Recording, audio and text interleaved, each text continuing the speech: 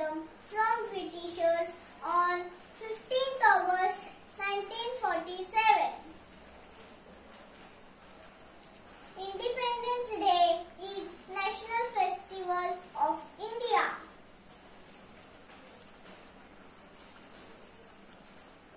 We are celebrating 74th Independence Day.